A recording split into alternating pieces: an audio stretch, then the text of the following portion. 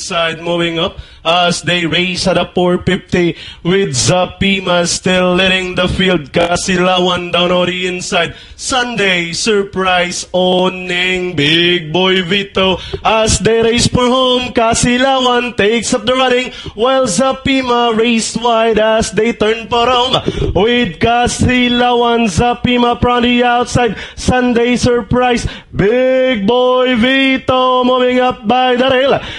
Is on the outside, but it's still Kasilawan over Zapima and finally Kasilawan Zapima close between Sunday Surprise and Big Boy Vito.